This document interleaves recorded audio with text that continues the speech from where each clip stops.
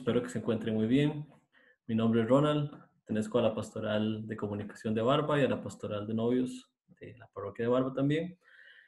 El día de hoy, este, como les hemos anunciado estos días, queremos hablar con una pareja de la comunidad, una pareja eh, experimentada, con amplio recorrido en la iglesia y en el servicio de Dios como pareja, sobre algunos temas que nos han, que nos han consultado, que han sido eh, parte importante de, de, los comentarios esta, estas últimas semanas en nuestras redes sociales. Entonces quiero presentarles a Juan Carlos y Nidia, coordinadores de la Pastoral de Novios de Barba y eh, consejeros matrimoniales. Buenas noches, ¿cómo están? Hola Ronald, buenas. Eh, eh, buenas. no, un placer estar con ustedes y poder colaborar, digamos, con, con estas situaciones apremiantes que cambian nuestras rutinas. Y vamos a hablar un poquito de eso, sobre lo que son las rutinas. Gracias a ustedes. Nosotros somos Juan Carlos Sinidia, somos coordinadores de la Pastoral de Novios. Recién el 4 pasado de mayo cumplimos 24 años de, un feliz matrimonio con muchas experiencias, podríamos compartirlas, este, que nos han ayudado de la mano del Señor a, formar un matrimonio sólido y, estable. Pero eso hay que formarlo, eso hay que hacerlo, no es que, hay una varita mágica, eso se crea y se forma. Y eso lo logra a través de las experiencias y las vicisitudes y los problemas. Entonces vamos a tratar de entregarles nuestras experiencias para que puedan este, tomarse una guía de que el matrimonio no es eh, una cárcel, no es como lo dibujan, ¿verdad? Como lo pintan. Es, es una forma de, llegar, de llegar a la santidad, es una forma que el Señor ha creado para acercarnos a Él de mi parte, bueno, muy agradecida también por la oportunidad y esperando que lo poquito o mucho que podamos aportar este, les sirva, ¿verdad? Sobre todo pensando en las jóvenes parejas, que, que es como nuestra área de, de, trabajo, ¿verdad? Porque formamos a los futuros matrimonios, pero también porque al atender a muchas parejas en consejería, vemos el dolor que sufren muchos hogares por, porque se están desintegrando. Entonces, poder aportar algo es para nosotros también una bendición. Muy bien. El otro día hablaba con un amigo, me preguntaba por matrimonio, cómo estaban las cosas. Yo le decía que para mí, producto de lo que hemos aprendido en gran parte en la pastoral de novios, es que el matrimonio es una vocación, ¿verdad? El matrimonio es algo que tenemos que tomar con responsabilidad, como si fuera, tal vez va a sonar un poco extraño lo que decir, como si fuera nuestra profesión, ¿verdad? Hay que aprender a ser esposos, a ser esposas, no se nace aprendido y no es fácil, ¿verdad? Estos días la gente le ha tocado, producto de esta cuarentena, estar juntos, más juntos que antes, ¿verdad? Compartir más tiempo, de 24 horas al día para muchos. Y para, para las parejas de hoy en día esto no es normal, ¿verdad? No es, es algo atípico. Regularmente salíamos temprano a nuestras casas, volvíamos 6, 7 de la noche, cenábamos, dormíamos juntos. Al día siguiente, alistarse para el trabajo y listo. Entonces, hemos visto muchas estadísticas donde eh, las consultas jurídicas, ¿verdad? Por divorcio, este tipo de cosas, han aumentado muchísimo. Las parejas les está costando convivir, les está costando eh, compartir con una persona y no con su grupo tal vez de trabajo todo el día, ¿verdad?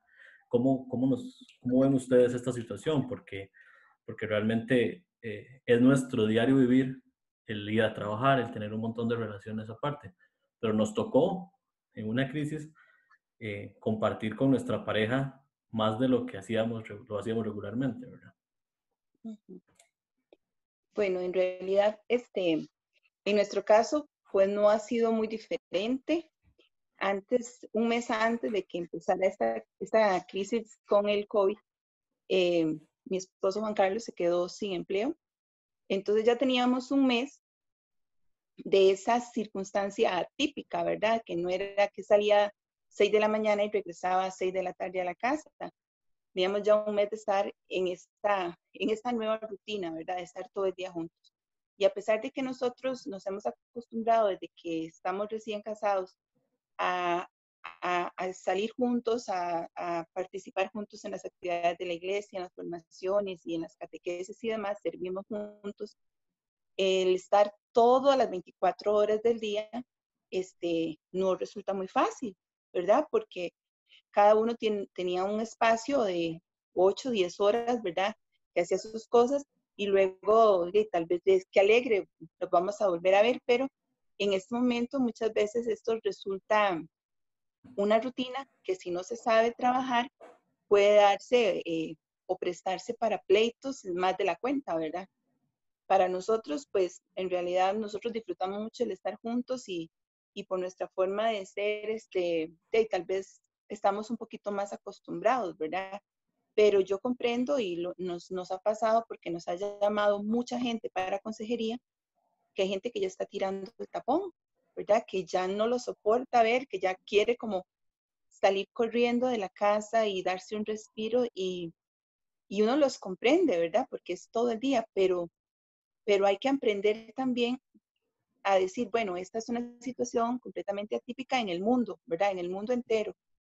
Y la casa ha de ser nuestro refugio y es en la casa donde nosotros deberíamos sentirnos protegidos, amados y, y solidarizarnos más que con nadie más pero eh, desgraciadamente hemos descubierto que para muchos las casas se les han convertido en una cárcel de la que quieren escapar, ¿verdad? Y, y desgraciadamente el, la casa de nosotros, en nuestro hogar, tiene que ser verdaderamente un templo, ¿verdad? Un templo, no, es, en nuestra iglesia doméstica. Y así la estamos tratando de ver, ¿verdad? Como una iglesia doméstica.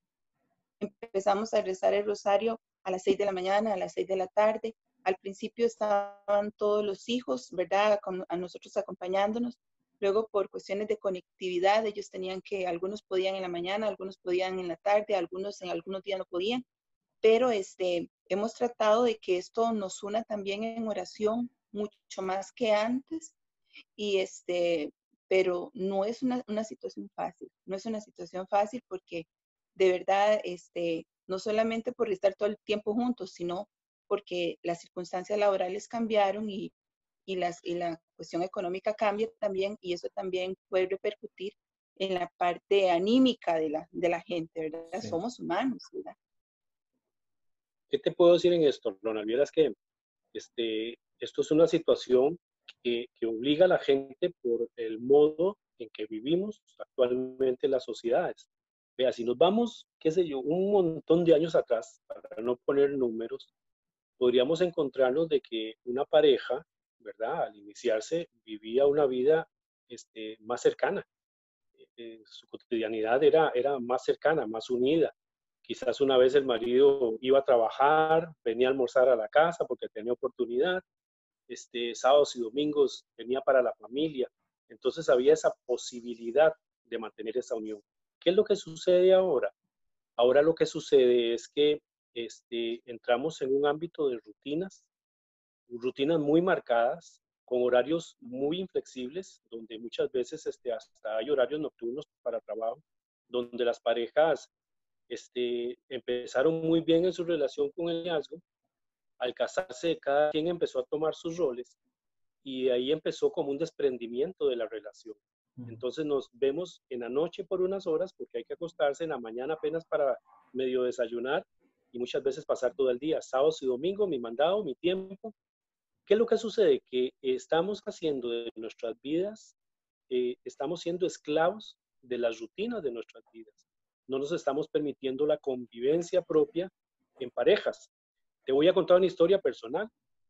Eh, cuando yo me casé, yo fui el último de mi familia que me casé, este, el día de mi matrimonio, mi mamá este, se descompuso porque ya, bueno, no era porque se le casaba su único hijo, era, sino porque el, su último hijo, sino porque ella en sí había creado una separatidad entre su esposo, mi papá y ella por ser mamá. Entonces ella, el momento que empezó a ser mamá, fue más mamá que esposa. Entonces ya cuando se le fue el último hijo, ella se encontró con una persona que había convivido por cierta cantidad de años y no había formado un vínculo este, fuerte de, matrimonio. Sí les costó, lo lograron, porque eran matrimonios y se llamaban. Pero lo que te quiero decir con esto, rescatar, es que muchas veces nosotros somos los responsables de nuestra relación. El Señor nos pide y nos dice, creo que es en Proverbios, quien haya esposa, haya la felicidad. ¿Qué nos dice con eso? Pues, ah, caramba, que sí, que, la, que mi esposa, la compañía de mi esposa, la cercanía de mi esposa, es para que me provoque y para yo inducir a la felicidad.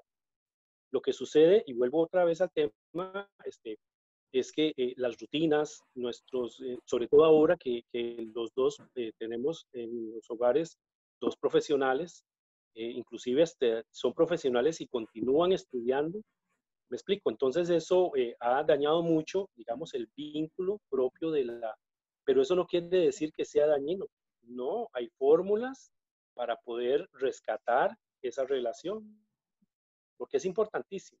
Un hombre que viva en soledad no, no es un hombre completo.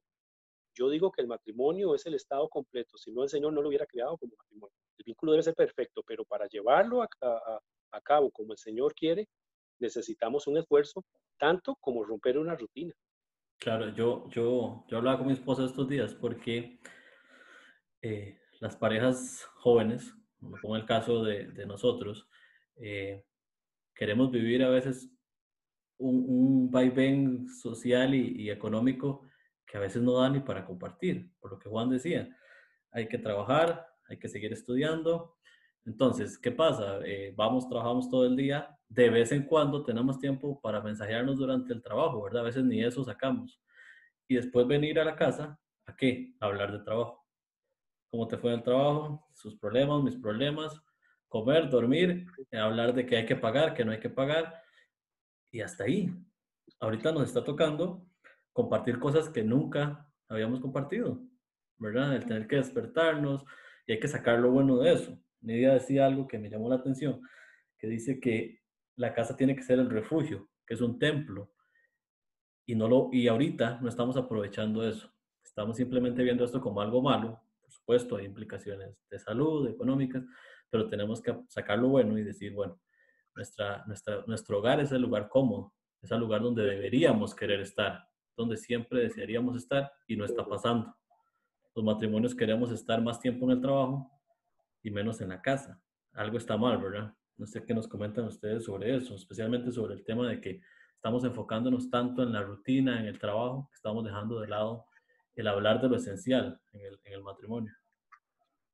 Vos dijiste algo muy simpático y te vamos a dar una experiencia mía y de, de, mi señora y de este servidor. Cuando Nidia y yo nos casamos, este, no dejamos de ser novios. Nosotros creamos un vínculo primero, separamos todas las amistades que podían ser tóxicas o nocivas para nuestro matrimonio. Porque yo tenía, te confieso, tenía amistades que podían haber arruinado mi matrimonio si continuaba con esas amistades. Entonces, Nidia y yo creamos vínculos de amistades en común. Logramos crear eh, eh, amigos en común. Entonces hicimos como, otro, otro paquete de amigos este, especiales con los que convivíamos y éramos eh, los dos afines. Luego, en la cuestión ya de la relación, vieras que nosotros escogemos un día a la semana, y eso lo recomiendo mucho, pongan atención, un día a la semana para marcar. Ese día para marcar, ¿cómo va a ser? Bueno, ese día para marcar, yo me voy con mi esposa, dejo los niños en algún lado, dejo a las suegras, si fuera, si están grandecitos, ya ellos quedan en la casa y la atienden. Entonces yo me aprovecho y me voy con mi señora. Que no hay dinero, nos vamos al parque y nos sentamos. Ok, pero la regla es no hablar ni de cuentas por pagar, no hablar ni de los problemas de los niños, de los muchachos, no hablar ni de las noticias que escuchamos en la mañana, mediodía o en la tarde, no hablar de los problemas de la vecina, ni de, los, ni de las congojas que tengo yo, ni de los problemas del trabajo. Eso está vedado. ¿Cuál va a ser nuestro, nuestro propósito? Es hablar de nosotros, como cuando éramos novios, ese descubrimiento, ese tratar. Entonces, vieras que yo lo que hago es tratar de descubrir, por medio de la plática, de una plática amena, tratar de descubrir cosas en Nidia que jamás había conocido.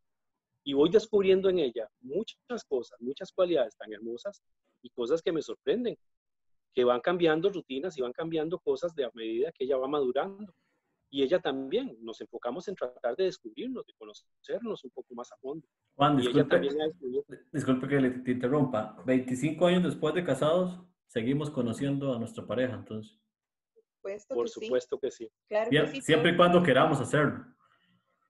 Nosotros somos los mismos, pero no lo mismo. A medida que crecemos, maduramos, este, envejecemos, eh, cambiamos, nos formamos más, hay más experiencias, correcto. Y, se, y, y se, va, se, va, descubriendo cosas nuevas, pero también eh, se van dando cosas muy interesantes, ¿verdad? Porque vemos que el amor va cambiando porque va madurando. Al principio, por ejemplo, uno recién casado a veces discutía por unas tonteras, ¿verdad? Que si ahora uno lo ve, eran tonterías, ¿verdad? En el momento tal vez eran cosas muy importantes para alguno de los dos y eso podía causar tal vez un enojo de días, pero uno va madurando en esto, se aprende a, dialogar, se aprende a ser más asertivo, a ponernos en los zapatos de la otra persona, de la otra persona, a establecer prioridades. Incluso los hijos aprenden que hay momentos en los que papi y mami tienen que estar solos, que tienen que hablar, que tienen que salir, ¿verdad? Que tenemos que dar espacios. Ahora aquí, por ejemplo, con esta situación que estamos todos y que a todos nos tocó, digamos, los que tenían estudios están estudiando desde la casa, ¿verdad? Tienen que estar siempre conectados, la, tienen teletrabajo, ¿verdad? Algunos, y, y cada uno, bueno, respetando tal vez su espacio pero ellos también saben que en algún momento determinado, papi y mami están solo para ellos, ¿verdad? Están hablando entre ellos, están resolviendo algo entre ellos y así lo entienden y así, y así han aprendido también a vivirlo, que, que la pareja necesita espacios y que aunque estemos dentro de la casa, podemos hacernos un espacio, una cita pequeñita aquí en la casa, un rinconcito donde nos sentamos, nos tomamos un cafecito, platicamos de algo en especial, ponemos una música que nos guste, hablamos de algo. No tiene que ser cosas donde usted vaya a gastar dinero ni donde salga, simplemente es hacer el ambiente propicio para la conversación. Y yo lo siento de todo corazón, las parejas, a las parejas les cuesta mucho conversar. Les cuesta mucho dialogar, sentarse y dialogar y sobre todo le cuesta a la gente mucho escuchar, escuchar asertivamente, ¿verdad? Estar dispuesto a escucharle el corazón al otro, qué es lo que siente. Y, y esto se tiene que practicar, ¿verdad? Y esto se va aprendiendo, poco a poco se va aprendiendo, ¿verdad? Y, y el ser asertivo es exactamente eso, poder, poder conocer y escuchar el corazón de la otra persona y ponerse en los zapatos de él y, y, aprender a perdonar. A veces hay que aprender a perdonar y a ceder, ¿verdad? Qué, qué importante eso que usted habla de que los hijos deben entender y yo creo que la forma de entender es eh, que lo aprenden del ejemplo, de ver que ustedes siempre sacan un tiempo para ustedes y ellos entender el, de que los papás siguen siendo esposos, que son pareja, porque a veces los, los hijos vemos a los papás simplemente como eso, mi papá y mi mamá, pero no, no, no integramos el hecho de que son pareja, que necesitan su espacio y que necesitan eh, hablar, comunicarse. ¿Por qué? Porque yo pongo el ejemplo de, de las, de las mamás, especialmente de las, de antes, que lo que Juan decía de su mamá. O sea, son tan mamás, son tan entregadas a sus hijos, que cuando la, Juan se casa, la mamá dice, bueno, ahora me toca vivir, compartir con mi esposo. Algo que no había hecho, ¿verdad?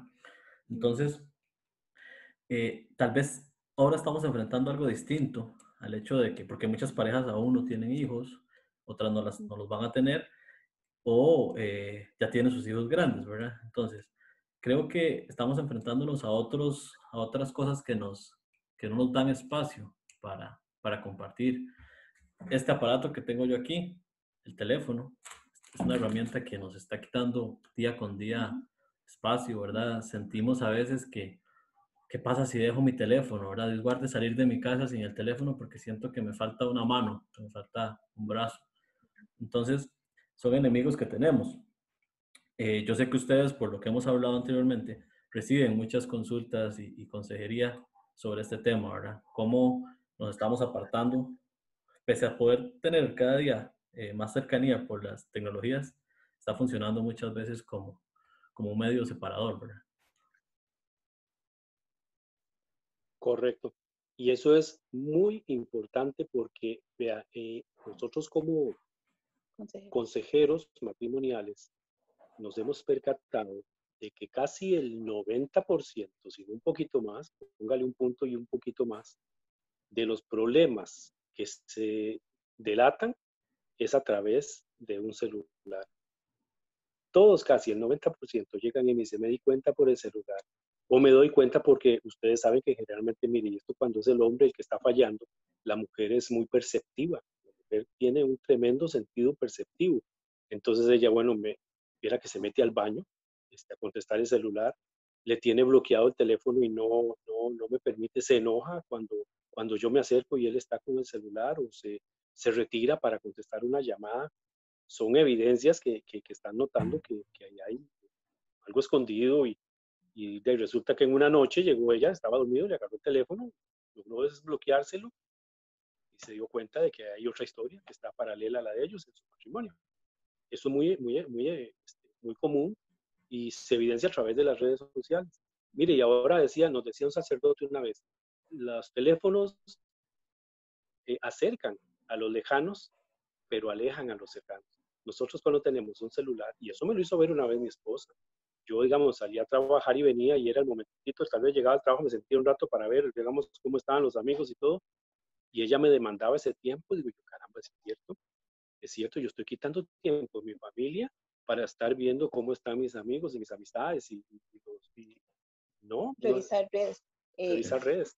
Por ejemplo, yo le decía a Juan Carlos, bueno, eh, ¿por qué me molesté en algún momento?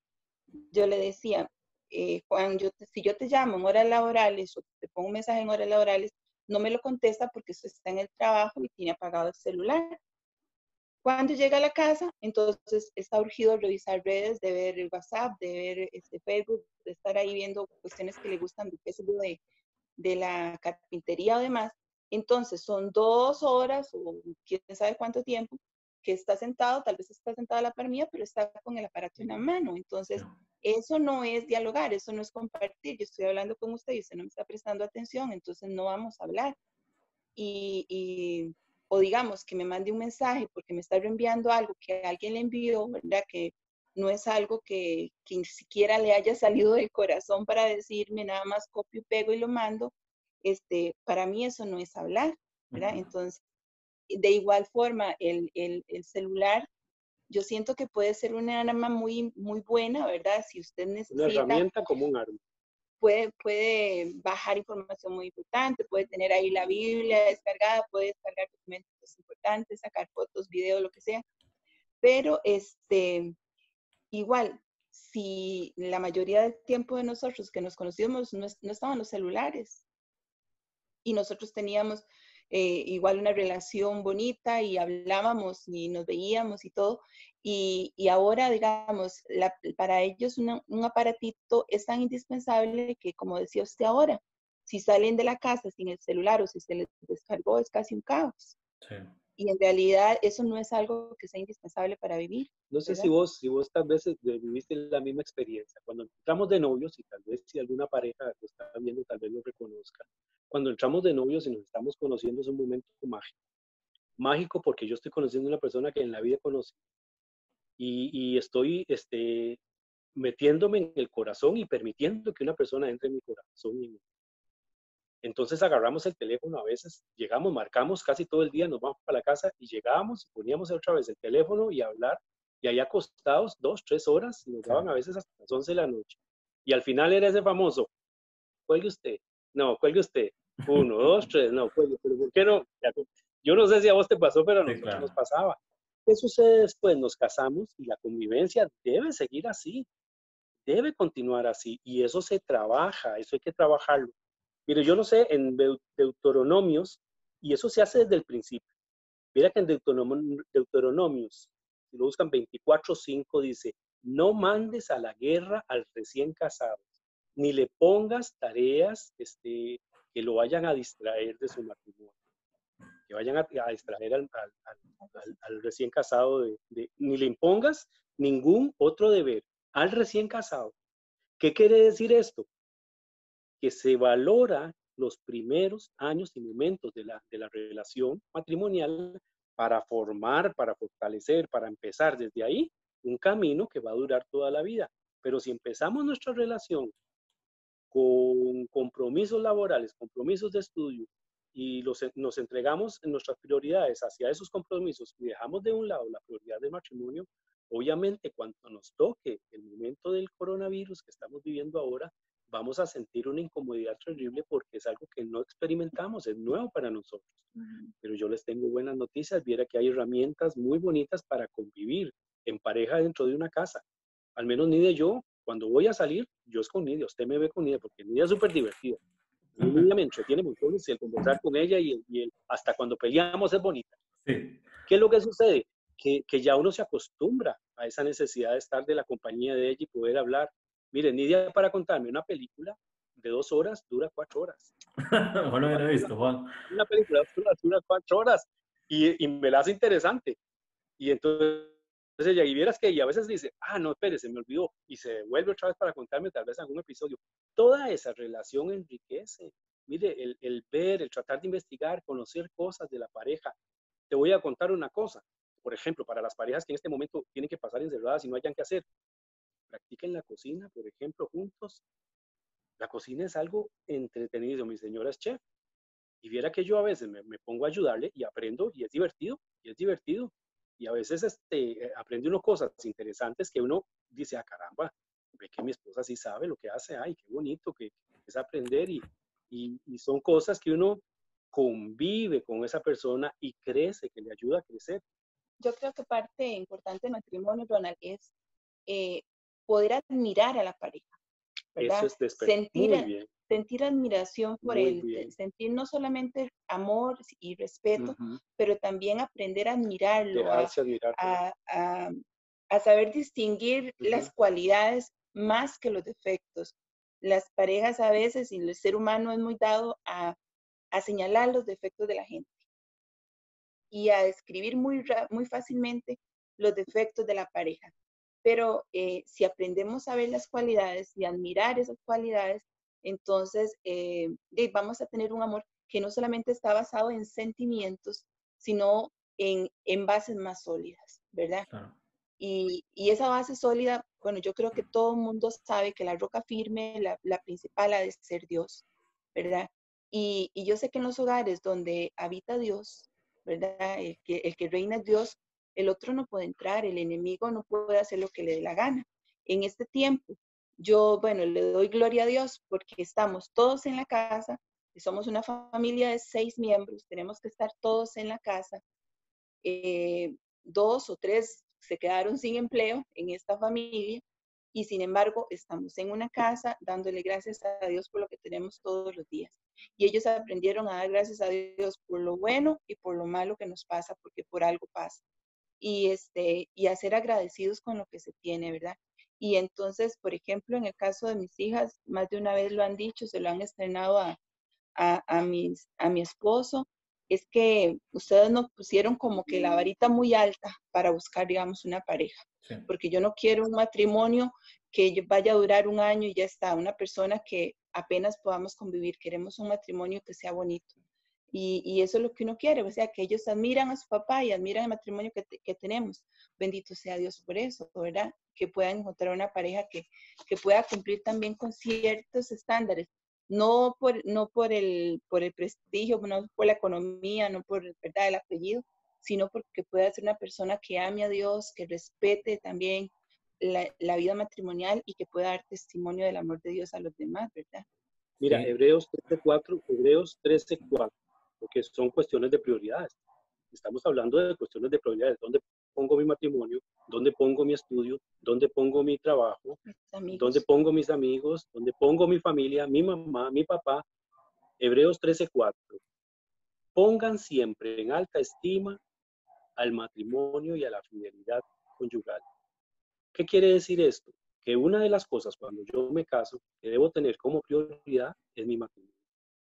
Porque, y el matrimonio es dentro de mi prioridad, hijas, a mis hijos, porque la palabra sí lo estipula y ella es sabia.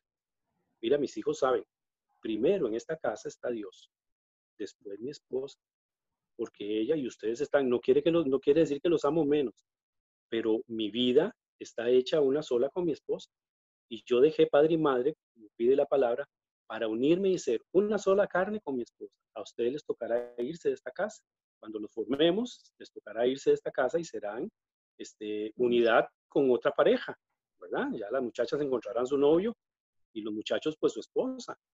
Pero yo, seguiré siendo esposo de mi esposa y seguiré siendo una sola carne. Entonces mi prioridad ante mi esposa debe estar ahí primero. Inclusive, inclusive ante el trabajo, ante el estudio, ante cualquier cosa, es mi, mi esposa. ¿Por qué? Porque viera que el camino de matrimonio, mucha gente cree que es que es tan bonito porque ya me ayuda a vivir, a bailar y vamos a ser felices y, y, comer perdices, decía mi abuela. No, el, el matrimonio, verdaderamente uno de los sentidos del matrimonio es el camino a la santidad. Como sacramento debe ser un camino que nos lleve a la santidad. Entonces es mi responsabilidad otorgarle a mi esposa las, las, las formas y tal vez las, las, las, herramientas para que ella llegue a la santidad y mi esposa cuidar de la mía, juntos caminando hacia, hacia, hacia, el eterno, hacia el eterno paraíso del Señor, hacia la casa soñada que, en la que todos esperamos. Pero debe ser una prioridad, este, Hace un tiempo hablaba con un amigo que se iba a casar sobre esa frase, que cuando nos casamos estamos cada vez más cerca o en camino a una santidad. Y suena a veces visible, ¿verdad? Está diciendo que vas a ser un mártir. No se trata de eso, ¿verdad? Eh, hay que explicar aquí que, que la santidad se refiere a que tenemos que aprender a soportar cosas en el matrimonio. Y ya eso nos hace santos. A veces, muchas veces, pasar por alto cosas, disimular cosas, eh, cosas que a veces a mí no me gustan, pero yo también tengo mis defectos, ¿verdad? Entonces, tenemos que poner una balanza y decir, ¿cómo hago para, para afrontar esto como pareja, tener paz, tener respeto? Eso nos hace santos, ser fieles. Quería hacer énfasis a, la cita que Juan leyó inicialmente, la de no mandar a los esposos eh, sin armas, ¿verdad? A, combatir. 24, A, a, combatir guerras que, que no están preparados. Y yo creo que es algo que nos está pasando ahorita los matrimonios jóvenes no nos gusta prepararnos. Nosotros, mi esposa y yo, ustedes la conocen bien eh, por estar en el grupo con ustedes y para nosotros esto ha sido una, una bendición. ¿Por qué? Porque antes de casarnos tuvimos la preparación creemos adecuada y seguimos día con día eh, preparándonos o intentando convivir de la mejor manera. Y yo considero que sin ese apoyo o sin esas bases, en estos momentos en el que en mi caso estoy sin trabajo, mi esposa gracias a Dios tiene trabajo, pero tenemos que compartir este el 100% del tiempo juntos y todo, eh, nos habría afectado muchísimo más, ¿verdad? No es fácil, pero entendemos que hay un propósito para esto y que es parte de nuestra vocación de esposos. Eh, les pongo el ejemplo, un sacerdote a veces lo, tiene, lo manda una misión a un país complicado y es su vocación. Él decidió esa vocación, entonces va y cumple su deber. Como esposos nos toca esto, nos toca muchas veces hacer frente a, porque somos un equipo. Hoy yo estoy sin trabajo, mañana está ella y juntos tenemos que buscar una forma, ¿verdad?, de, de poder hacer frente a esto. Eh, devolviéndonos un poquito a lo, de, a lo de la convivencia, hay un punto que también la gente nos ha escrito. Bueno, quiero agradecer también a, a las personas que están conectadas. Eh, muchas gracias por, por seguirnos y por estar atento a, nuestras redes y a, y a estas dinámicas que nos hablaban sobre las tareas del hogar cómo cuesta, ¿verdad? Muchas veces dividirnos las tareas o, aprender, porque a veces vemos las películas y nos casamos y soñamos los dos limpiando con la misma escoba, ¿verdad? Y, y, ya el, el, hecho de, después de la luna de miel, el primer día de casados en nuestra propia casa, nos damos cuenta de que también hay que hacer trabajo en equipo, ¿verdad? Sí, y esa parte, qué bueno que la toque, ¿verdad? Porque desgraciadamente yo creo que no es un, no es un misterio que vivimos en una sociedad todavía machista, ¿verdad? Y a mí, por ejemplo, todavía a esas alturas, a mí me molesta que me digan, bueno, te voy a lavar los platos. Y yo digo, bueno, es que los platos no son solo míos, los platos fueron de los seis que comimos en la casa, ¿verdad? La comida se hizo para los seis y los platos son de todos, ¿verdad? Y en un lugar y en una casa donde, qué sé yo, que los dos trabajan, y hay una pareja de chiquitos, ¿verdad? Que, que tienen dos chiquitos en la casa. Si los dos llegan cansados en la noche del, trabajo, entonces, ¿de qué manera dividimos las tareas para que uno cocine, el otro vaya a ropar a los chiquitos, eh, el otro recoja ropa, la vemos tal día, pongamos horarios para ciertas cosas y hasta inclusive el aprender cómo se hacen las cosas de la manera más eficaz, más eficiente, este, eso puede ayudar también a, evitar problemas, ¿verdad? Alguien, la gente dice, es que a mí no me gusta cómo lava los trastes porque los lava mal, entonces después se va a pasar quejando toda la vida de que solo ella lavó trastes. pero no enseñó cómo se tenían que hacer las cosas, ¿verdad? O antes las mamás, por ejemplo, eh, no permitían que el papá se involucrara en el cuidado del bebé, que aprendiera cosas para cuidar al bebé. Y esa parte tan bonita de, de, de, de, ser afín con el bebé, de ir verlo crecer, de poderlo bañar, de poderlo cambiar y alimentarlo y todo, solo la tenía, solo la vivía la mamá, porque papá era como si fuera incapacitado para esto. Y no, es simplemente que aprendamos juntos cómo se hacen las cosas, cuáles son los horarios, este, cómo se le saca el cólico al chiquito, ¿verdad? Y, y, ir aprendiendo a hacer las cosas para no perderse esas etapas tan lindas también que son de crecimiento, por ejemplo, en el caso de los niños. Y, en, y cuando ya estamos grandes, ¿verdad? Entonces, el crear hábitos juntos, el saber, qué sé yo, que, que todos colaboremos en no dejar ropa tirada, en, en, en tener horarios para comer, en compartir ciertas comidas siempre juntos, en hacer labores que a veces no son muy bonitas, pero de ahí, qué sé yo, pongamos música y pongámonos a, a entrar a la casa, a limpiar los vidrios, hay que lavar el carro, hay que hacer cosas, pero este, en esas cosas también se puede compartir y se puede aprender. Yo ahora que he estado viendo a Juan Carlos, Juan Carlos siempre le ha gustado mucho y tiene, yo sé que él tiene ese deseo de que una vez que él se pensione, poder trabajar la madera y tiene habilidad para eso. Y, yo siempre lo veía como bajando videillos y tutoriales de, YouTube de, de, cosas de madera y eso. Y ahora eh, me pongo a ponerle más atención y le digo, a mí me gustaría aprender también, también a hacer cosas de madera. Está muy bonito empezar desde cero un proyecto, hacer un mueblecito y, ver ya usted que con, con, sus propias manos creo. una tableta. y crear cositas, ¿verdad? Y con sus propias manos está muy bonito, ¿verdad? pero interesarse incluso por aprender cosas nuevas. Yo creo que esa, eso es, es, algo bonito, ¿verdad? Y, y, y, ver también las habilidades, ¿verdad? Otras habilidades que, que tiene la persona y, y, compartir también esos gustos, ¿verdad? De, de, del otro, ¿verdad? Ser empático en ese sentido, ¿verdad? Y, y, yo creo que para las parejas jóvenes, a veces incluso el hecho que, que las parejas no quieran tener tal vez un encuentro íntimo bonito, un encuentro sexual bonito o no lo disfrutan, a veces es por puro cansancio, porque una de las partes está súper cansada porque fue a trabajar, porque también le tocó hacer los almuerzos, porque también tuvo que hacer el oficio de la casa. En lo menos que está pensando es tal vez en tener un encuentro íntimo con su pareja porque está agotado física o agotada físicamente. Entonces, hasta en eso hay que aprender a compartir, ¿verdad? para que la carga no la tenga que llevar solo una de las partes, ¿verdad? aunque usted, su mamá le haya enseñado que usted no tenía que juntar el plato de la mesa ni, ni la ropa que se quitó, eso se aprende, en el matrimonio se aprende, se ponen reglas y se establece una nueva dinámica familiar. ¿Qué nos dice la palabra? Eclesiastés 4 de 9 en adelante.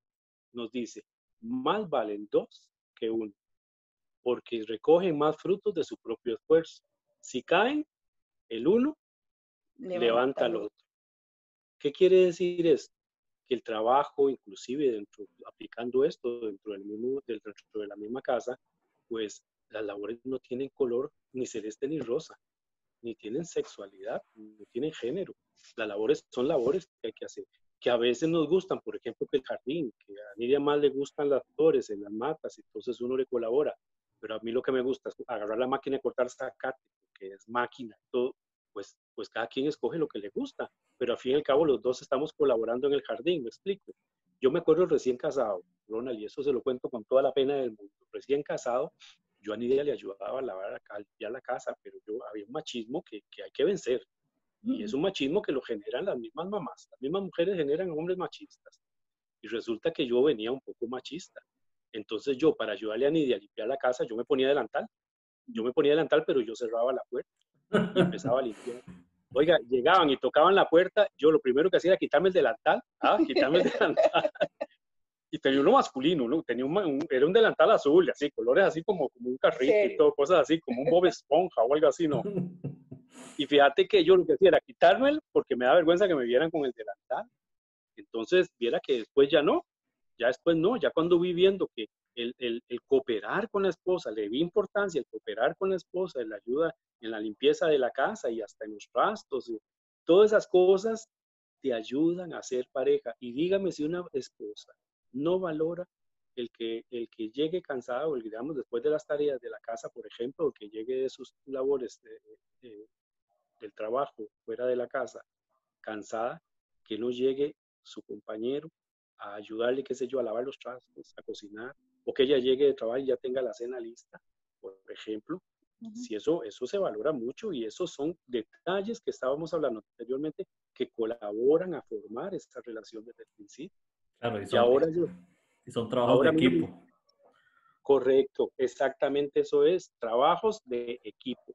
Y para esto, como hablando de la santidad, mire, hay una pareja muy bonita que fueron santos, este, Luigi y María Beltrán, eran dos italianos, nacieron en los años 60, murieron en, en, años diferentes, pero era que él era, trabajaba con el gobierno y ella era maestra, y él era abogado y trabajaba con el gobierno, tenía que hacer giras, pero ellos la, vida que llevaron ellos no fue, como decía el Papa Juan Pablo II, la santidad no es hacer cosas excepcionales, es hacer las cosas ordinarias extraordinariamente. Es cuando yo pongo ese poquito de más en las cosas corrientes. Santo no es aquel que se eleva cuando ora o el que puede estar en dos lugares al mismo tiempo. Santo no es precisamente solo aquel que puede verte a los ojos y decirte los pecados que tienes. No. Santo es el que le obedece al Señor y que trata de seguirlo y el que, el que está en conversión constantemente. El que cumple su vocación fielmente, porque por ejemplo, una, un matrimonio santo, como decía Juan Carlos, no necesariamente porque, porque está orando las 24 horas del día y no hace nada más que eso, no, es que las cosas que hace durante el día se las ofrece también al Señor, que no cae en la tentación, porque ella y las tentaciones van a existir, vamos a, siempre nos va a gustar cierto tipo de personas, nos va a gustar que nos traten bien, que nos hablen bonito, pero de ahí a que yo voy a ceder cuando alguien este, me echa un piropo, ¿verdad? O, se, o se acerca con ciertas intenciones solo porque tengo que ser simpático, no, ¿verdad? Es que un matrimonio en santidad se puede llevar, bueno, yo tengo un esposo, yo tengo una esposa que respetar y valoro mucho lo que tengo y, y voy a tratar siempre de llevar esta vocación del matrimonio al máximo nivel, ¿verdad? Entonces, no importa si está al lado mío o no está, yo voy a respetar que soy una persona casada. Miras que curiosamente, perdóname, amor, hemos hablado de la palabra vocación, la hemos tocado que unas siete veces, y desde el principio vos la tocaste. Pero vocación, viera que es una palabra eclesial. Vocación, vos, eh, si la analizas, es una palabra sumamente eclesial. ¿Por qué? Porque vocación, definición de vocación es, el, es la condición que yo me encuentro por la voluntad de Dios. Es cuando Dios me llama a mí a ocupar una determinada posición, un determinado este, trabajo, una determinada... ¿Qué quiere decir esto? Que si yo soy médico, yo decido ser médico y soy médico por vocación, es porque mi interés, más que, que mi persona, está en servir, en ayudar a la gente, porque es un llamado del corazón que Dios me toca. Que mi vocación es ser maestro, ok, es porque dentro de mí hubo un llamado para la necesidad de enseñarle a los niños que sean mejores personas.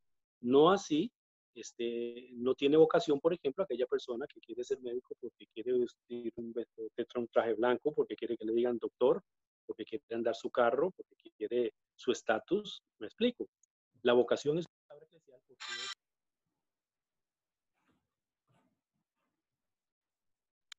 es el llamado de Dios, disculpe.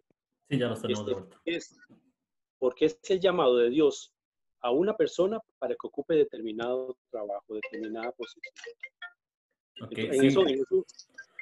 en, realidad, eh, yo, yo veo así el, la vocación como esposos es, es, es, hacer feliz a la otra persona, e, es, es, entregarme yo como esposo a mi esposa y mi esposa a mí, ¿verdad?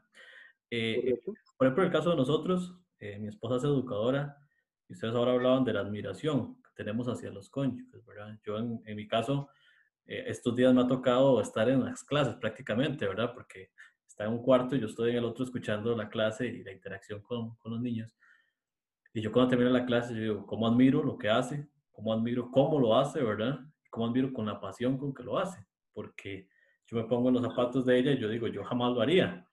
Pero cuando ella me pide apoyo para algo de lo que yo soy completamente ignorante, como, como, como la educación, eh, yo intento integrarme porque es una parte en la que podemos compartir, ¿verdad? A veces ella me habla tanto de esas cosas que, que a veces estoy en una conversación ajena y uno termina aprendiendo de su pareja, ¿verdad? Hasta de su profesión.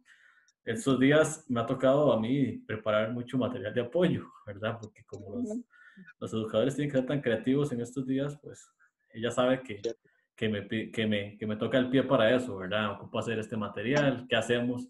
Es una forma de compartir también, ¿verdad? Hasta en el trabajo de la otra persona eh, podemos compartir como pareja y ver las formas de, de, de ayudarnos. Ahora quería que, que habláramos de algo que, que básicamente es el, el, la piedra angular de, de, esta conversación, que se trata de las crisis que ya hemos mencionado un poquito, ¿verdad? Que, que ya todos conocemos, desempleo en los matrimonios, eh, muchas veces crisis de enfermedades, ¿por qué no, verdad? Puede nuestra pareja estar, voy a poner un ejemplo, puede nuestro cónyuge estar enfermo, ah, digamos, por ejemplo, de COVID y no podemos estar cerca de él. Podría ser una posibilidad. Eh, otra crisis importante es la financiera. Entonces, que nos cuenten eh, eh, con su experiencia, me imagino que han tenido crisis en el matrimonio, como todos los matrimonios las hemos tenido, eh, ¿cómo, ¿cómo, llevar esto? ¿Cómo llevar esto de la mano de Dios? Eh, ¿Qué nos recomienda la iglesia en estos puntos? ¿Cómo, cómo ver esto? ¿Cómo, ¿Cómo enfrentar como matrimonio una crisis? Que nos cuente un poquito su testimonio. ¿Qué te podría decir? Te voy a empezar con un testimonio porque yo hace como unos 10 años este, inicié un proceso de trabajo que no me fue bien. Tuve que renunciar a él porque no, no me sentía bien, este, no me, no me llenaba expectativas ni anímica, ni espiritual, ni económicamente.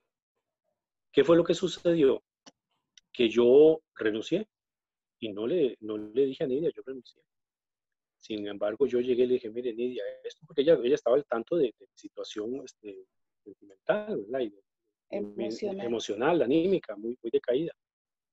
Y yo tomé la decisión y renuncié.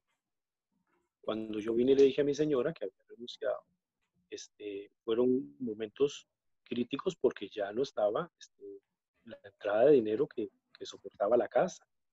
Y vinieron crisis fuertes, muy fuertes. Hubo necesidad, eh, fueron tres meses muy, muy, muy fuertes.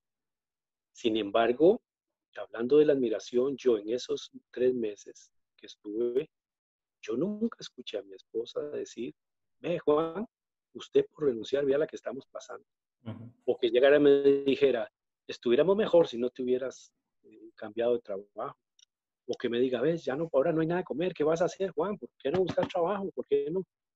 En ningún momento mi esposa me hizo ni siquiera, ni siquiera una insinuación. Ella lo que provocó en mí más bien fue como, como una sensación de apoyo, de solidaridad. Pero esto, Ronita, te lo cuento porque yo así lo respiré, así lo viví, y después ya cuando esta situación terminó, cuando ya volví a restaurar mi antiguo trabajo del que había salido,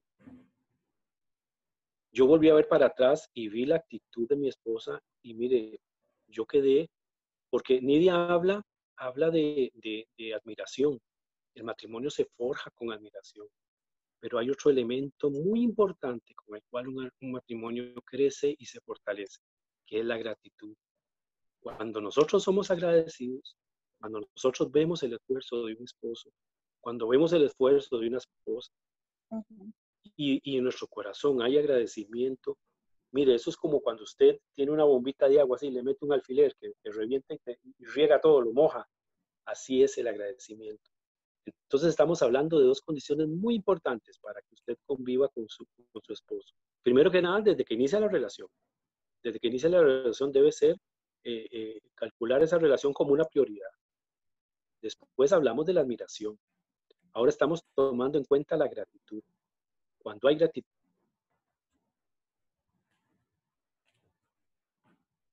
cuando la esposa y veo que a lo largo de estos 24 años hay momentos en que se ha quejado, pero no ha sido este, eh, esa machaca que te golpea, que te, no, porque ya yo creo que ha tenido más momentos de solidaridad, te lo puedo asegurar, que, que, que, que desolación o que me deje a mí este, cómodo o, que me deje, ah, caramba, es que hice las cosas mal.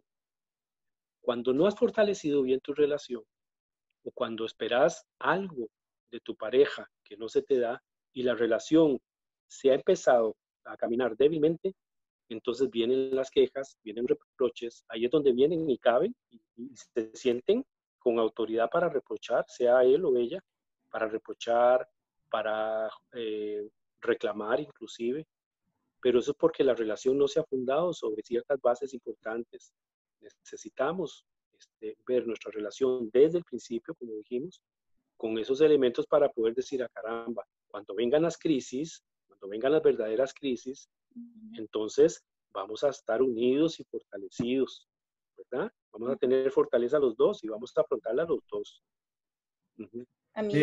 perdón, Nidia, yo, yo quiero escuchar, eh, por ejemplo, cuando Juan te dice a vos, eh, Nidia, yo estoy, yo, bueno, ya usted conoce a Juan y usted sabía que Juan estaba mal, que no estaba feliz, que no era feliz, que, que no estaba desarrollándose como él deseaba.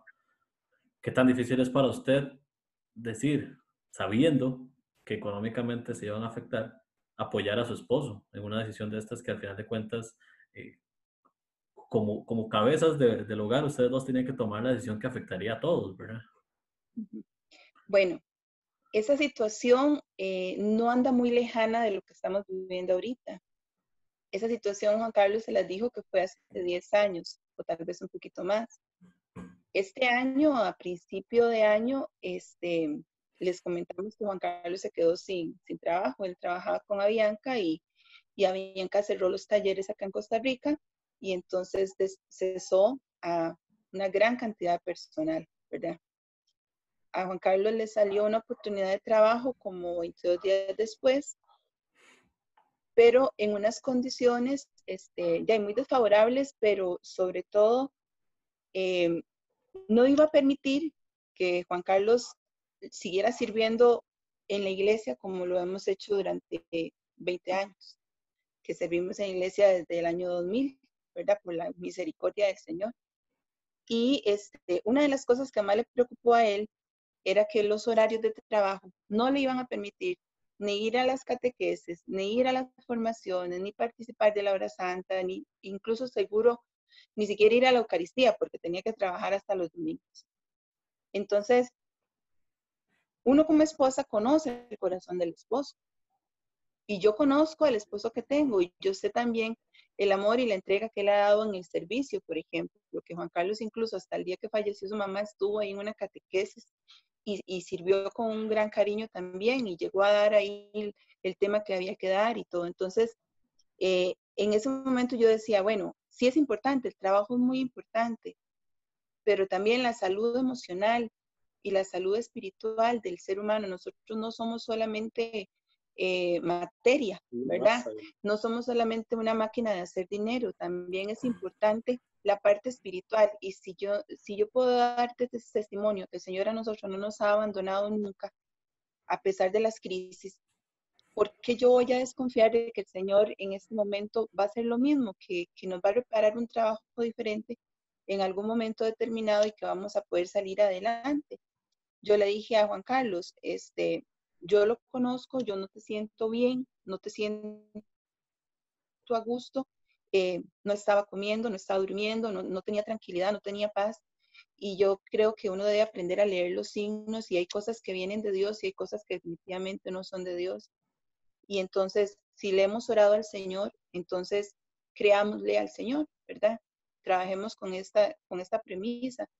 Y, Juan Carlos, por ejemplo, ahora en, febrero, él no aceptó un trabajo por eso. Y yo le digo, bueno, Dios primero va a salir algo mejor, que nos va, nos va a permitir tener el, sustento, pero también la oportunidad de servir. Después se vino esto del COVID y hemos tenido que estar este, encerrados aquí. Para nosotros esto no ha sido un encierro, para esto ha sido una oportunidad de conocernos más, de tener un proyecto, de echar a, caminar un proyecto que teníamos hace muchos años, de empezar a hacer cuestiones en la casa que no se habían podido hacer por falta de tiempo, porque definitivamente el tiempo ha sido el enemigo de, de muchas relaciones de pareja. Nunca hay tiempo para reuniones, nunca hay tiempo para Dios, nunca hay tiempo para servir, nunca hay tiempo para ir a bailar, nunca hay tiempo para conversar, y ahora la gente tiene todo el tiempo del mundo. Entonces, si tenemos todo el tiempo del mundo, aprovechémoslo, ¿verdad? Entonces, eh, el conocer, digamos, el, aprender a conocer a tu pareja, hasta en las cuestiones estas más más, más íntimas, ¿verdad? De, cuáles son sus sueños, sus aspiraciones. Yo sé que quiere este, poder pensionarse y, y tal vez dedicarse ya a las cuestiones de la carpintería y demás, ¿verdad? Entonces, yo le estoy rogando mucho a Dios porque a él le aparezca un trabajito que le permita trabajar estos cuatro años que le hacen falta y poderse pensionar y, y poder vivir juntos esa, esa ilusión. Pero para mí más importante es la salud de él, que él tenga paz, que él tenga, que tenga también tranquilidad y no simplemente que vaya a salir a trabajar porque se ocupa la plata. Sí, y es, que, y es que muchas veces cuando estamos en una crisis como matrimonio, ¿verdad? Eh, estamos en el estamos en el límite, estamos en un borde en el que pasan dos cosas. O se nos cae el matrimonio por un lado y por el otro está un camino complicado, pero es el salir mucho más fuertes. En el caso de ustedes que hablan de nuevos proyectos, de, de, unirse más en una crisis, eh, los que hemos pasado alguna vez por alguna crisis, sabemos que es así, ¿verdad? Es la oportunidad perfecta para echar a perder todo para que todo se, se acabe, o para levantar la cabeza y decir, bueno, el día que estábamos frente al sacerdote hicimos un pacto, hicimos un compromiso de estar uno para el otro, de, de, intentar hasta el final, entonces este es el momento, ¿verdad? Porque muchas veces cuando hablamos de boda, hablamos de la publicidad que nos vende la boda, ¿verdad? De un matrimonio perfecto, de un matrimonio feliz, de, nunca vemos los momentos difíciles. Y, cuando tenemos que vivir en el matrimonio, en las crisis, es cuando decimos, bueno, así no me lo pintaron, ¿verdad? Y, cuesta llevarlos a cabo. Eh, yo, yo quiero hacer énfasis en el tema de que ustedes conversaron del servicio. Yo doy fe. Eh, cuando Juan se le presentó esta oportunidad laboral, estábamos trabajando en un proyecto y me acuerdo, hablábamos en tres semanas para, para un video que teníamos que presentar y él me decía, estoy muy triste porque este trabajo no me va a dejar ir el sábado, el domingo a la catequesis, no sé si puedo ir. Y yo dentro de mí decía, qué le pasa a Juan? Es el trabajo, ¿cómo no va a dejar el trabajo? ¿Verdad? Que está loco, ¿cómo se le ocurre? Pero ¿cómo nos cuesta a veces entender eso? ¿Verdad? Que, y los jóvenes nos aferramos mucho a eso, a la realización profesional y no a ser felices, y no a la realización a veces personal. Cuando Juan decía eso, yo simplemente se me veía la cabeza, ¿cómo van a pagar esto? ¿Cómo van a hacer lo otro? ¿Cómo se le ocurre? Eh, pero al final de cuentas, ¿qué es mejor? Tener los ingresos para darnos los lujitos, porque a veces ni siquiera estamos buscando el poder vivir bien, ¿verdad? Sino que estamos buscando subir un poquito ese nivel o ser felices. y a veces ni siquiera lo, lo, ponemos en un contexto y a veces ni siquiera analizamos eso. ¿esto me va a hacer feliz? ¿O simplemente es lo que yo creo que me va a hacer feliz? A veces, sí, sí decime. No, que yo al menos en la parte, la parte esta del matrimonio donde dice y, y, promete serte fiel en la salud, en la enfermedad, en la riqueza y en la pobreza, ¿verdad? Y, y la gente dice que sí, o sea, yo, yo siempre he oído a todos los matrimonios que he ido, que son un montón, porque por estar en esto de la catequesis para matrimonio, nos invitan mucho a los matrimonios y nos gusta ir a los matrimonios. Todo el mundo siempre dice que sí, que prometen eso y que van a estar en la, en la salud y en la enfermedad y en la riqueza y en la pobreza. Y, y, y la experiencia eh, en las consejerías es que no, es que es pura mentira, porque apenas se presentan los primeros problemas, ya la gente la quiere rayar ah, ya no me gusta, ya se quedó sin empleo, tenía un montón de deudas, tenía un montón de fianzas, o ya no me gusta porque esta persona, bueno, tuvimos un caso triste que la persona le dio un cáncer y entonces la muchacha dijo, yo no puedo con esto y se llegó y dejó al, esposo en la casa de la, de la suegra. Y, y, uno dice, bueno, dijimos que en la salud y en la enfermedad, en la riqueza y en la pobreza. O sea, estuvimos bien, mientras hubo trabajo, mientras hubo abundancia, pero también tenemos que aprender a estar bien cuando no hay trabajo y cuando hay que estar contando los cinquitos para vivir. Y hay que también aprender que, y entonces si se enferma la persona o si, si cambia, eh, si se le cae el pelo, o si nos hacemos más viejitos, si, si nos engordamos, entonces no, no, es, es que estamos ahí para, para crecer juntos y para hacer apoyo y ayuda idónea. Por ahí es donde yo entiendo que la esposa, y se lo digo a las mujeres, por eso el Señor decía en Génesis, voy a crearle una ayuda idónea. Nosotros nos vamos a convertir en esa ayuda idónea para este, para este hombre que el Señor nos creó. Y, y, y aprender a, llevar juntos como un yugo esta, esta carreta, ¿verdad? Hacia adelante. Ahora, muchas de esas personas que se quedaron ahí, ¿verdad? Digamos que aceptaron trabajo, a todos los mandaron para la casa, todo ese lugar donde iba a trabajar Juan Carlos, no tienen trabajo ninguno. Y entonces yo dije, bueno, ahora obligatoriamente mucha gente está en su casa sin poder trabajar y hay que aprender, vamos a tener que aprender nuevas formas de cómo ganarnos el sustento. Pero yo digo, con la ayuda de Dios esto se puede, pero si estamos unidos es más fácil, si la gente está cada uno por su lado, este, como burros, jalando hacia esquinas diferentes, esto va a ser difícil, ¿verdad? Entonces yo creo que estas épocas de crisis pueden sacar lo mejor de la gente si se sabe, si se sabe llevar, ¿verdad? Tener una actitud resiliente, pienso yo, tener la, habilidad de, de, tomar las cosas negativas y convertirlas en positivas. Y sobre todo cuando, cuando tal vez no hemos logrado la mejor relación. Vea, la Biblia es sabia. En, la, primera, la palabra de Dios es sabia. En la primera carta de Pedro, 3 al 7 dice, sean comprensivos en su vida conyugal. Sean comprensivos. O sea, traten de entenderse. El hombre y la mujer son totalmente seres totalmente diferentes. ¿Por qué son diferentes? Bendito sea Dios que sean diferentes, porque si no se, si, si fuesen iguales, serían lo mismo. Son diferentes porque son complementarios. Nosotros los hombres tenemos deficiencias que las mujeres naturalmente soportan y ayudan y tienen. Mire, yo en Nidia veo, por ejemplo, este, y eso no lo digo solo por Nidia, yo sé que todas las mujeres son así. Lo veo en mi mamá, en mis tías, en, en, mi, en, en mis familiares, en mis hijas. Mire, la mujer tiene una habilidad para poder anticiparse a las cosas tremenda. Cuando alguien llega y le dice, mire, yo llegaba y le decía, Nidia, vieras que eh, conocí un compañero nuevo que llegó al trabajo y lo traía a la casa y cerraba la puerta, el muchacho se iba y se quedaba Nidia. Vieras que no me, no me, la, no me late ese muchacho. Juan, y nosotros, y nosotros tenemos ese instinto completamente al opuesto, ¿verdad? Eh, tenemos el peor ojo de, que existe para, para esas cosas. Los hombres más bien confiamos en el que no debemos y vemos con malos ojos al que, por eso el complemento está en la mujer. Mire, cuando yo tengo que tomar una decisión, yo soy el que tengo que tomarla, yo, yo tengo que ser responsable de esa decisión. Yo a Nidia le, digo, Nidia, mira que, y le cuento la posición. Yo a Nidia no le digo, ¿qué hago, mi amor? No, yo le digo, Nidia, ¿y usted qué siente? ¿Qué siente usted con lo que yo le digo? Entonces el corazón de Nidia me habla y me dice, no, es que yo siento esto y esto. De acuerdo a lo que ella me dice, mire, yo actúo, tomo mi decisión, la, la, refuerzo y vea, el 90% tengo éxito. Pero cuando yo me aloco por una, resulta que después tengo que arrepentir. Tengo que arrepentir. Los hombres somos muy, muy, muy rápidos para, para hablar, ¿verdad? Para, para, tomar decisiones, a veces creyéndonos este, muy capaces, ¿verdad? Y, eso se da, perdón, y eso se da mucho en cómo formamos la relación. Mire, el, Papa Francisco dice algo tan hermoso a las parejas. Él habla mucho a las parejas, hace muchas catequesis a parejas. Me acuerdo una vez que dejó un mensaje, dice, hay tres palabras que no deben faltar en un matrimonio.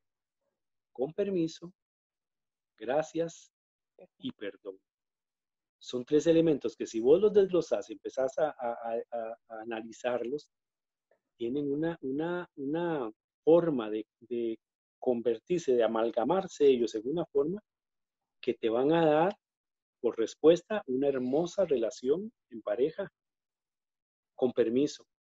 ¿Cuánto nosotros vemos el respeto de poder tomar en cuenta a nuestra pareja para poder tomar una decisión? O poder decirle cuando tomamos una decisión, compartírsela. O cuando vamos a hacer algo ¿no estás de acuerdo? Gracias. Ay, lo que estábamos hablando, ser agradecidos ser agradecido es un elemento importantísimo, la admiración. porque muchas veces creemos que nuestra pareja tiene obligación en, algo, ¿verdad? Eh, a él le toca esto, a ella, y no es así. Eh, eh, nunca está de más un gracias, es bonito, ¿verdad? En una pareja. Gracias. ¿Y el perdón? El que más cuesta, Juan. ¿Qué más cuesta? Es quizás, quizás de las, de las acciones humanas que diría yo más cuestan, que más cuestan, y la tenemos en el Padre nuestro. Perdona nuestras faltas como así nosotros también perdonamos a quienes nos ofenden. A ah, caramba, hay que perdonar. ¿Cuántas veces? Siete veces siete. O sea, Setenta veces siete. Es, es, es, quizás una de las situaciones más difíciles para, para el corazón de uno. Inclusive lo vemos, mire, es grande, grande ver cómo ver una pareja en la que alguno ha fallado y la esposa llega aquí después de un proceso de, de, consejería, llegar y que le diga a la esposa, yo te voy a dar otra oportunidad, porque te amo y porque tengo no solo un compromiso con vos, sino un pacto con Dios. Correcto. Y son parejas, miren, nosotros tenemos, inclusive en el grupo de nosotros han servido parejas que se han fortalecido a través de una infidelidad, por ejemplo. Se han dado cuenta que han habido por esa infidelidad, que hubieron cosas que estaban ocultando, digamos, actitudes y situaciones que los estaban separando y al final cayeron en esa infidelidad. ¿Qué fue la situación de la infidelidad? Pues volvieron a reencontrarse, descubrieron todo eso, ¿verdad? que tenían actitudes que cambiar exactamente, la resolvieron y tuvieron un matrimonio más fortalecido. Juan, cuando hablamos de perdón, perdón, eh, eh, cuando hablamos de perdón, a veces pensamos en pedir perdón, pero no es eso tan difícil como perdonar, ¿verdad? Es más difícil, es más difícil perdonar de, de todo corazón, porque hemos tenido también la, la, la experiencia de gente que dice, sí, está bien, yo lo perdono, pero cada vez que tiene la oportunidad le saca en cara la situación o eh, vive en una relación en la que constantemente uno de los dos, eh, como que decir que baja la cabeza porque sabe que fue el que cometió el error en, hace 20 años, pero todavía la otra persona sigue poniéndole como el pie encima. Entonces esa persona no perdonó. Perdonar es decir, bueno, yo está bien, yo, te perdono y cada vez que me acuerde de esa situación te vuelvo a perdonar. Por eso el 70 veces 7 es que voy a seguirlo perdonando de aquella acción que hizo hace tanto tiempo y no lo voy a estar reclamando todo el tiempo por lo mismo, porque si no vamos a vivir en un infierno, ¿verdad? Y hemos conocido incluso parejas muy cercanas o gente ya grande que pueden ser que puede ser que estén unidas, están unidas tal vez por la costumbre, pero que no se han perdonado de todo corazón las cosas que se hicieron del pasado. Y el poder perdonar los errores y las faltas del pasado es como desprenderse de, de, un saco de piedras que se lleva en, en, en los hombros es como lo mismo que hacemos nosotros a la hora que buscamos la reconciliación. Cuando vamos y confesamos nuestros pecados, es deshacernos de eso que llevamos a cuestas. El Señor nos perdona, y, y, seguimos adelante. Tratamos de tener un propósito de enmienda y seguir adelante. Y a veces en las relaciones de pareja uno ve que la gente no perdona de todo corazón. Y cada vez que tiene la oportunidad, machaca, machaca, machaca con lo mismo y, y es gente que de, no, no son felices en su relación, ¿verdad? Entonces, también es de, es de humanos cerrar, pero también es de humanos el perdonar de todo corazón, ¿verdad? Como Dios nos perdona siempre, ¿verdad? Y esta, ese es un, un grado de madurez al que uno de, tiene que pedirle también la gracia al Espíritu Santo para poder tener la sabiduría y, y, y la conciencia de poder perdonar de todo corazón, ¿verdad? Miras que en esto yo tengo un truquito cuando a mí alguien, por ejemplo, todos tenemos situaciones en que alguien nos ha hecho daño. Y, y cuando alguien ha hecho daño y me lastima y me duele, ¿qué es lo que yo hago? Oro por esa persona. Yo cierro los ojos, eh, estamos en mi momento de oración, pongo el nombre de esa persona y se la pongo delante del Señor, Señor, este, perdona a esta persona, yo perdono a esta persona, yo la perdono. Y, y mi corazón porque el perdonar no es así como que usted, no es una varita mágica que yo digo, ok, te perdono y ya está, como que ya todo cambió y como que abriste una puerta y ya llegaste a otra habitación de otro color. No, el, perdonar es un proceso, como un luto, es un proceso que se va llevando y se va madurando. Y en ese proceso, cuando usted ora por la persona que le ha hecho daño, usted va viendo cómo poco a poco se va desvaneciendo tal vez esa ansiedad, ese dolor, ese rencor, inclusive si ha llegado hasta el punto de rencor, que es lo que no hay que permitir. Entonces, empezar a orar por esa persona y va a ver que su corazón se va ablandando y va viendo esa persona, va viendo más el corazón de una persona que una persona mala. Ve más el hijo un, hijo de Dios en un error que, una persona mala, por ejemplo. Yo, yo, creo que, que esto es, es, una sociedad, ¿verdad? Como esposos somos una sociedad, somos socios de un proyecto que decidimos tomar juntos. Y, y en, este, en este punto tenemos que, que aportar lo mismo. Y no es el 50% cada uno, sino el 100% los dos, ¿verdad? Eh, y a veces hay alguno de los dos que no puede aportar su 100% por X razón. Ya las hemos hablado, económicas, de salud, eh, inclusive a veces no estamos bien de ánimo y es el momento en el que la otra persona tiene que dar ese, ese poquito de más, ¿verdad? Para complementarnos. Eh, hemos hablado de los diferentes problemas que, que tenemos como, como parejas, pero nos falta un punto muy importante, cómo hacer como pareja para para tener las herramientas para, para poder enfrentarlos. Yo tengo aquí apuntado un punto que habla del servicio a la iglesia o el servicio a la sociedad como pareja, ¿verdad? Porque eh, cuando es posible hacerlo como pareja, nos sirve para todo, por muchos factores, ¿verdad? Porque con un tiempo que es para Dios también termina siendo para nuestro matrimonio. Entonces, tal vez si nos comentan un poco sobre el servicio como pareja o sobre esas herramientas, eh, poniendo como base el servicio que podemos tener los matrimonios para, para poder hacer frente a los problemas que, que nadie está exento, ¿verdad?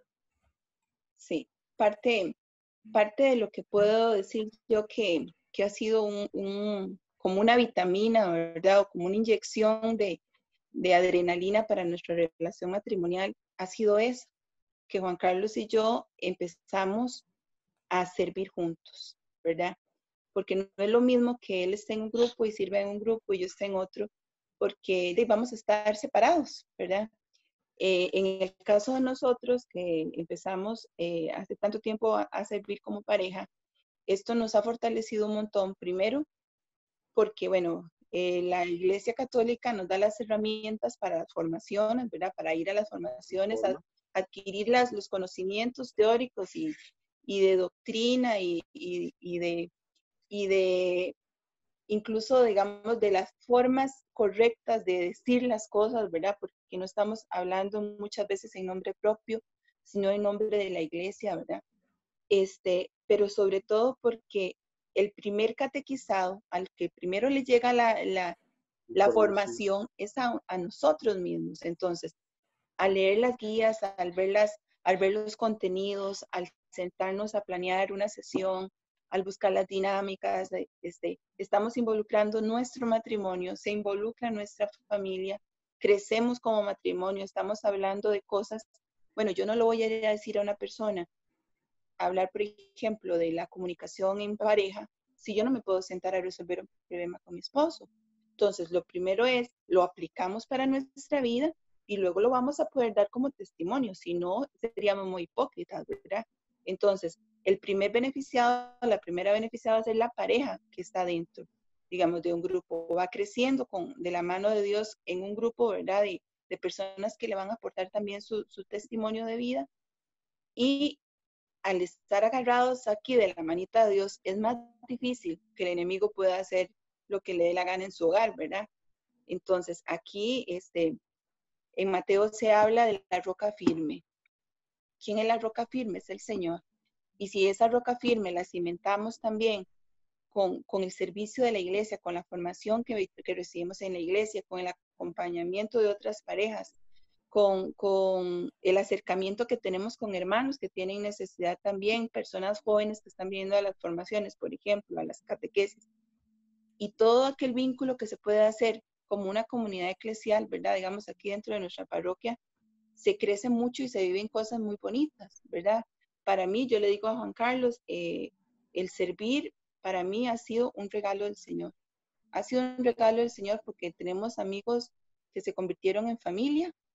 Hemos vivido cosas muy duras, pero hemos tenido una familia, ¿verdad?, de corazón que tenemos ahí más. Hemos conocido gente muy linda al servicio de la iglesia, gente que puede dar un testimonio de que son verdaderamente ejemplo, una doña Amparo, este, un don Francisco Solís, doña Norma, que ya, ya digamos ya no nos acompañan, pero que toda una vida estuvieron ahí al servicio y que uno sabe que son gente santa, ¿verdad? Que han servido siempre de todo corazón.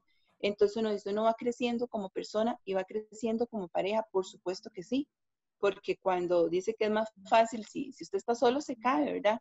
Pero la cuerda de tres, de tres hilos nada lo rompe, ¿verdad? Entonces el estar agarrado de la manita de Dios y en, y en un grupo que también te acuerpa, esto es súper importante, sobre todo para la gente que está empezando, digamos, por ejemplo, las parejas jóvenes. Es muy importante tener como un equipo de contención a la par, ¿verdad?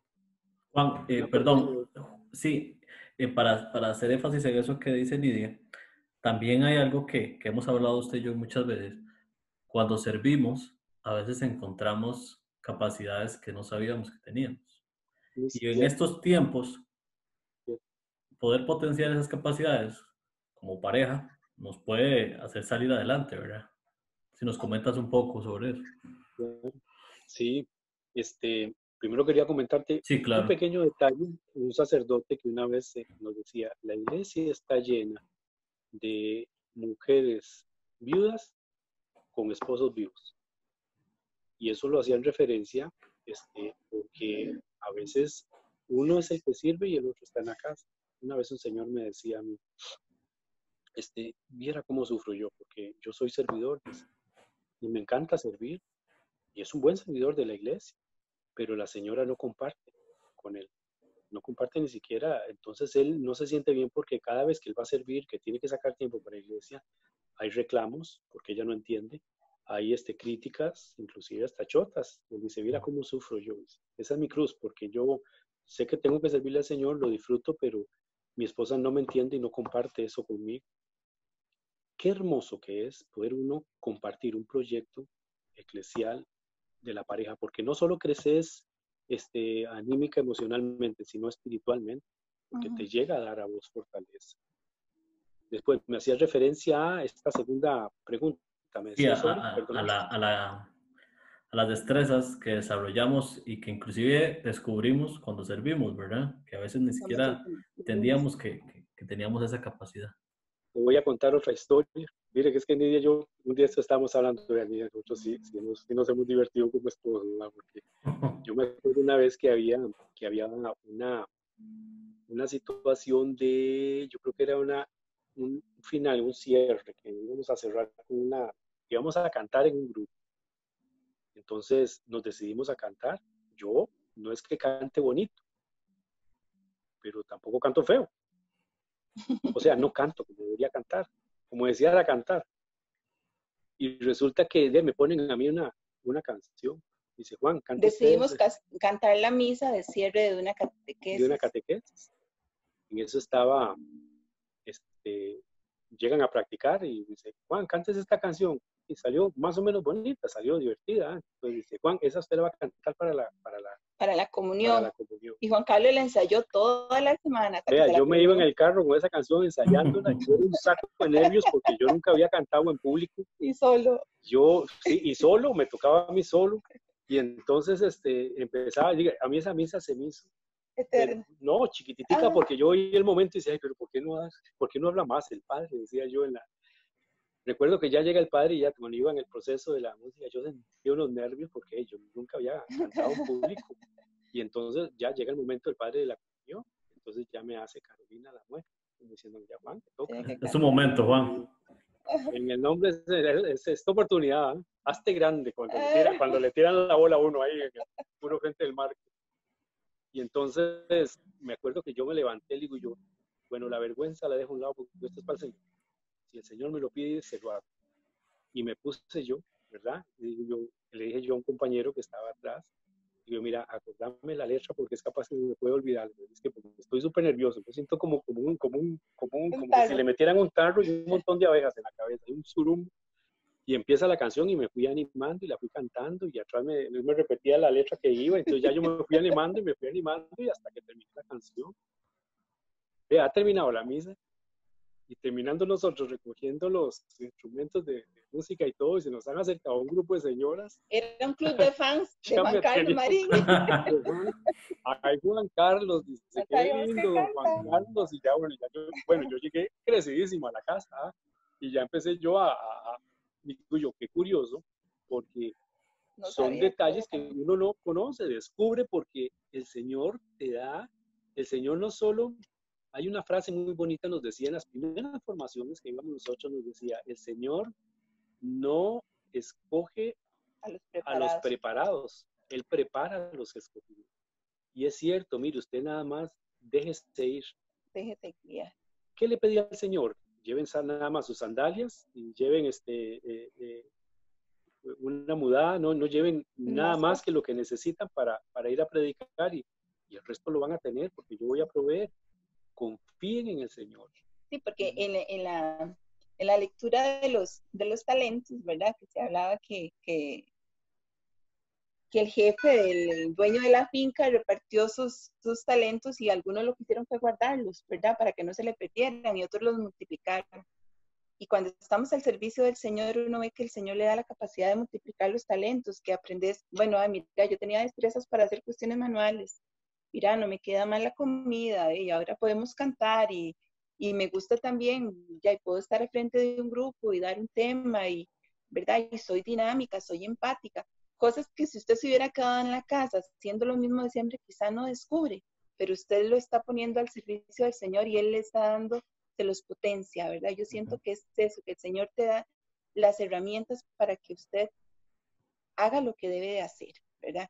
Entonces, siempre hemos tratado, y, y Dios quiera que así pueda seguir siendo, de trabajar no solo para el Señor, sino con el Señor de, tener siempre el Espíritu Santo, pedirle mucho al Espíritu Santo discernimiento, de, estar en la hora santa, de poder comulgar, de, hacer las cosas de la mano del Señor, que haya oración también, ¿verdad? Porque a veces tal vez queremos hacer las cosas a nuestro modo, pero no es, no es a nosotros a lo que la gente quiere oír. Es, lo, es la palabra del Señor, es lo que la iglesia nos quiere decir. Por ejemplo, en el caso de nosotros, sobre el matrimonio y la familia. Entonces, es la posición que es, que es el matrimonio y la familia para la Iglesia Católica y cómo es un, matrimonio y una familia que pueda ser santa, ¿verdad? Entonces, este, poder hablar en nombre del Señor este, es una gran responsabilidad, pero el Señor también le va dando a uno los dones, ¿verdad? Y se los multiplica. ¿Y cómo nos cuesta? Sí, Juan, adelante. Este, y ojalá que, que, que ese, si hay una pareja, hay una pareja que está escuchando, sea recién casada, sea un matrimonio este, a mitad de su edad o, ya un matrimonio maduro, que tiene intenciones y deseos de servir, no deje que eso se esfume. Aprovechenlo porque van a encontrar una riqueza espiritual ahí, una riqueza espiritual que el Señor le va a regalar a manos llenas. Cuando nosotros hacemos, y vos sos testigo porque vos sos un ejemplo de eso, cuando nosotros terminábamos una catequesis, siempre hay una o dos parejas que reciben la catequesis de parejas para el matrimonio, que se van a casar, los novios. Don Juan Carlos, doña Nidia, este, mira que nosotros nos gustaría servir. Y usted nos haría un campo, con mucho gusto. Aquí hay un espacio para todo aquel que quiera servir. Aquí las puertas del Señor, esto es una iglesia. La iglesia no cierra sus puertas. Y son parejas que a pesar de ser matrimonios nuevos, acuérdense, parejas que todavía no estaban casadas, entonces nos asistían a nosotros logísticamente, que llegaban, nos ayudaban ahí a las cuestiones de logística. Ya una vez casados, pues se iban integrando, se preparaban y ya inclusive hasta daban temas.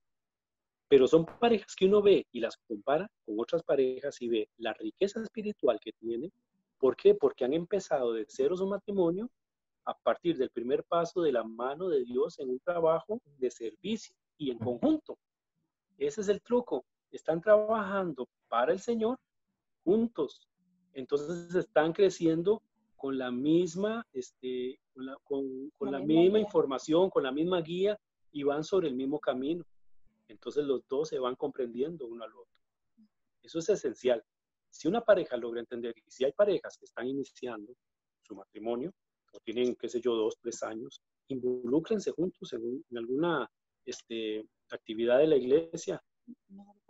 En alguna pastoral, puede ser de matrimonios, puede ser, qué sé yo, confirma, confirma pero háganlo juntos para que ustedes entiendan y crezcan en un mismo nivel, creciendo juntos, compartiendo y resolviendo. Eso, eso es importantísimo. Sí, lo que te iba a comentar ahora es que casi siempre es uno de los dos los que, el que, el que se le despierta, ¿verdad? Esa, esa intención de servir. Y cómo como pareja tenemos que apoyar a veces ese llamado, porque tal vez Dios está trabajando por medio de, de mi esposa para decirme a mí, vamos y sirvamos, ¿verdad?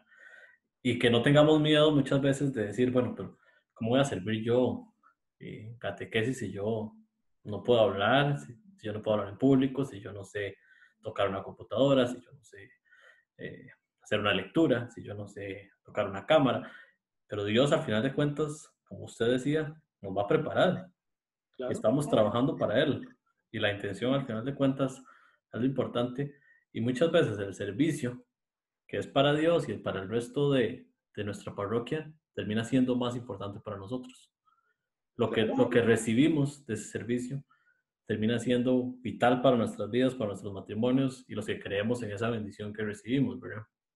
Para ir cerrando, bueno, quiero agradecer a, a las personas que están conectadas ahorita, a las personas de, de la pastoral de novios que están conectados, a, veo muchas personas que han recibido catequesis con ustedes saludando y, mandando sus mensajes, a personas de matrimonios en Victoria, muchas parejas están siguiéndonos en este momento. Agradecerles, comentarles que probablemente vamos a seguir haciendo algunos tipos de, de comentarios. Se nos quedan un montón de temas que queríamos hablar eh, y ahí vendrán los momentos para hacerlo. Quiero nada más que, que nos den un mensaje final para, para esas parejas que están en este momento eh, sintiendo el llamado y que además están teniendo tal vez dificultades en su matrimonio para que puedan salir adelante. Yo quisiera dar un consejo, que ese consejo me lo di yo una vez y he tenido mucho éxito en esto. Y es un consejo sencillo. Y eso está en la oración. Oren, oren y oren. Y cuando ustedes oren y pidan por su esposa, cuando el varón o la esposa ore por su esposo, Pídanle a Dios y díganle, Señor, dame de tu amor para amar a mi esposa. Cuando yo amo con el amor mío, es un amor eh, egoísta. Es un amor condicionado. Si me das, te doy. Si dejas de darme, ya no te quiero. Cuando yo amo con el amor de Dios, cuando Dios me da el amor de Él para amar a mi esposa, ese amor es incondicional. Y ese amor, cuando recibo el amor de Dios y me permite, mire, parece mentira, usted no me lo va a creer. Yo, mi Señor es testigo. Pero yo a veces eh, durante el día tengo eh, eh, episodios de microenamoramientos. Yo a veces veo, veo a mi Señor y la veo que está cocinando, ya le veo algo bonito en los ojos y digo, uy, me entró el amor. Y son cosas, y son cosas que uno dice, caramba, pero ya con 24 años y yo todavía, estoy enamorándome. se supone que ya, curiosamente, cuando el Señor le da de su amor para amar a la esposa, mire, usted es más tolerante, usted es más comprensivo, eh, usted agradece más, usted se deja seducir más por esa persona, usted se deja impresionar más por esa persona, la admira más de lo que estábamos hablando. El Señor le regala tantas cualidades, pero pídale ese amor al Señor.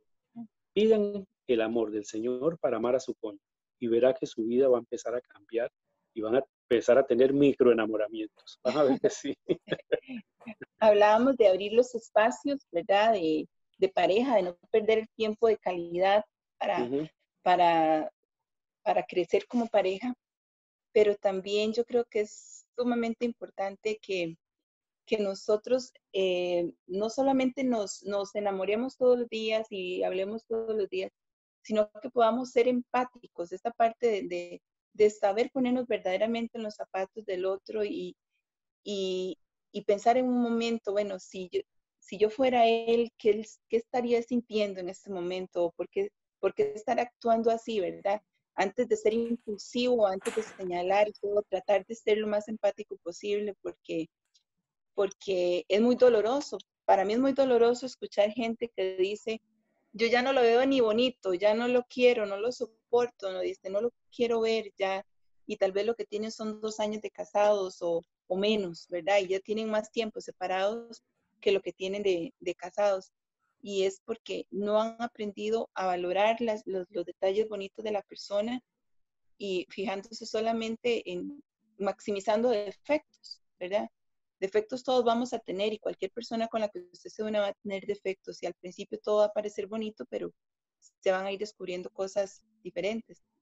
Pero de la mano de Dios, si nosotros aprendemos a resolver los problemas del día, ese mismo día, dice la, la, palabra, que no se ponga el sol sobre tu enojo.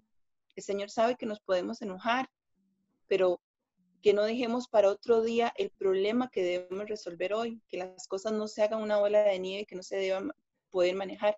El aprender a perdonarnos todos los días es tan importante como el amarnos todos los días, ¿verdad? Entonces, las cosas feas que me haya hecho durante el día, bueno, mi amor, yo te perdono por las cosas.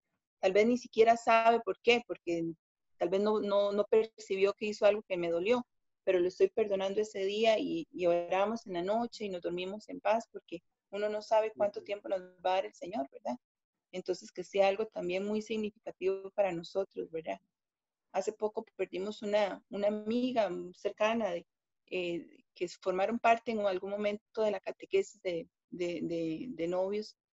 Y, y, vimos ayer o antier al, esposo vean, nos sentíamos tan mal porque ellos siempre andaban juntos, ellos iban a la hora santa juntos, iban a la Eucaristía juntos, estaban en el grupo de, de la Divina Misericordia, eh, fueron misioneros y demás.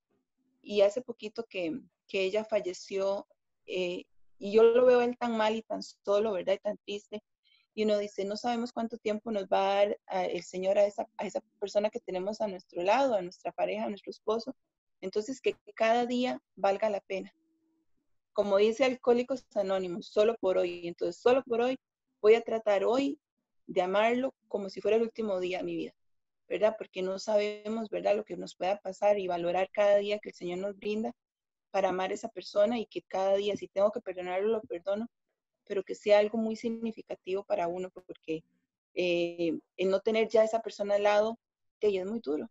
Yo vi ayer a, a, a este hermano nuestro y, y, er, era muy triste, o sea, el sentimiento de tener recién fallecido a un esposo de, de 40 años de casado no, no es fácil.